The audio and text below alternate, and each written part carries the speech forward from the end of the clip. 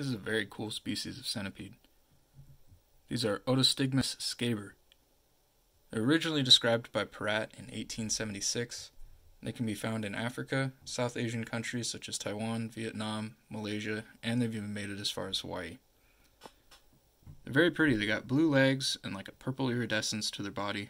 The younger centipedes have a red head and a red posterior. I've been keeping three of them for about a month now. They've been on coconut, a bit of sand mixed in, and I've been using these larger deli cups, giving them as much substrate as I can since they do like to burrow. Piece of cork bark on top, and some sphagnum moss to hold humidity and moisture. I was bummed not really to find a whole lot on this species online, but like I said, they are very pretty, and I'm hoping to have success with them in the future.